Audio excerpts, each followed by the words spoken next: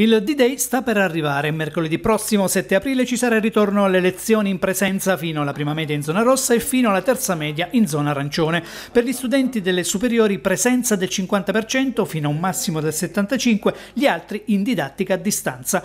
La ripresa scolastica implica un nuovo piano di potenziamento del trasporto pubblico locale. Quali le soluzioni? Le abbiamo chieste al presidente di Tua, Giuliante. Le circolari che ci sono state fanno riferimento ad una situazione che è assolutamente sovrapponibile al momento della chiusura nella scorsa riapertura in presenza. Quindi noi abbiamo sostanzialmente, eh, dobbiamo replicare lo stesso schema con doppia entrata e doppia uscita delle scuole.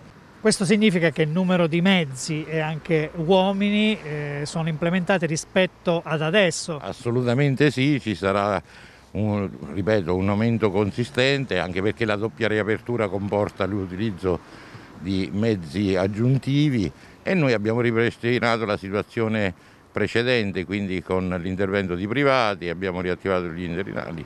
C'è tutto quanto quello che era il sistema già tarato e che aveva dato buoni risultati verrà riproposto alla riapertura delle scuole. Presidente, parliamo anche di screening perché un recentissimo ordine del giorno del Comune di Pescara eh, ha fatto richiesta alle proprie partecipate di effettuare lo screening di massa sui, sui, dipendenti di queste partecipate e poi tramite la Regione è stato chiesto anche di farlo sui vostri dipendenti. Con noi sono arrivati un po' tardi perché noi da circa un mese, un mese e mezzo facciamo sistematicamente screening di massa con tamponi a tutti quanti i dipendenti tua.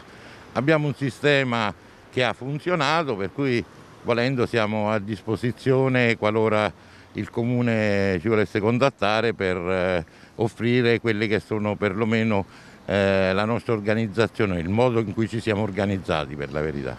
L'ultimissima, si parla anche di vaccini, la categoria dei, degli autisti è prevista qualcosa in un prossimo futuro? Noi abbiamo chiesto e continuiamo a chiedere che venga inserito quella degli autisti tra le categorie che debbono avere un, un privilegio rispetto ad altre categorie che onestamente noi crediamo eh, siano meno esposte.